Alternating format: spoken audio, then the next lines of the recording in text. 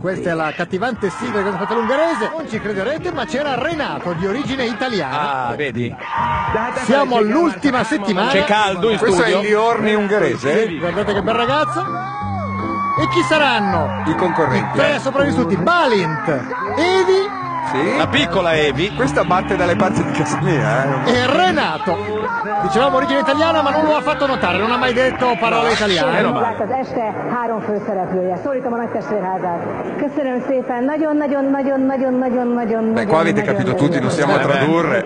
Eccolo qua, Renato, espressione intelligente, eh. Maglia della Juve. Cosa dirà? Renato? Renato! Le sue fan? Eh? Perché hanno detto Renato vaffanculo? Perché lui non ha detto altro che parolacce in italiano Ma per tutti i Esatto. 90 e 100 giorni. E loro non sapevano il significato. Assolutamente. Sentiamolo. Oltre a suonare la chitarra piuttosto bene,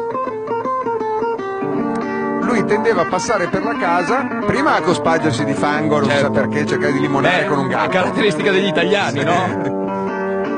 E poi Eccolo. lui passava, Vede uno dormire.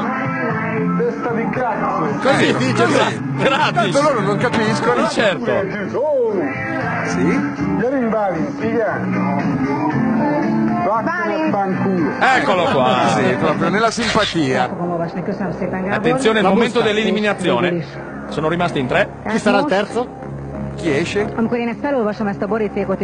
Beh, chiarissimo, no? Eh già. Che altro commento scalda. potevi fare? 112 nap után Puttana, eh? È lui che ha suggerito. Renato! È il terzo! Deve uscire. Come la prende? Amigos?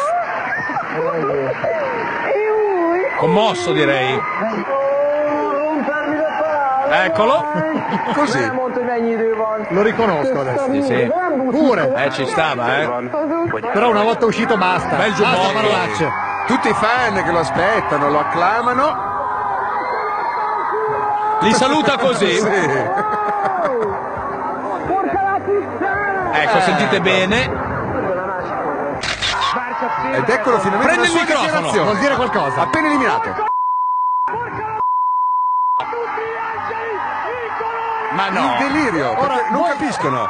Vi domanderete, il Marco Liorri ungherese, quando lui è uscito, con che parola lo ha accolto? Ascoltate.